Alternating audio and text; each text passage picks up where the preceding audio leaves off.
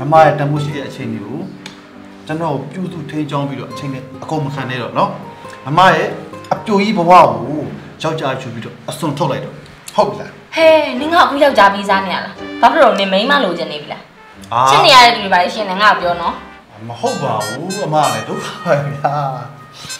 အမကကျွန်တော်စတာပါအခုမှကချစ်လို့စတာနော်ကျွန်တော်ကလည်းမိန်းမမယူဘူး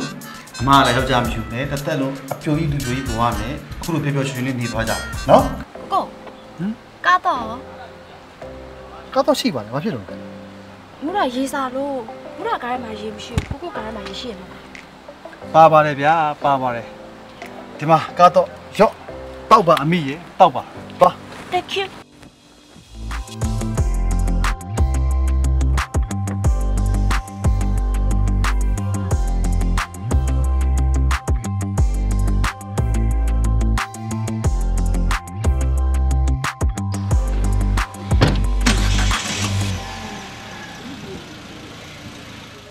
ဟာမူရာမူရာ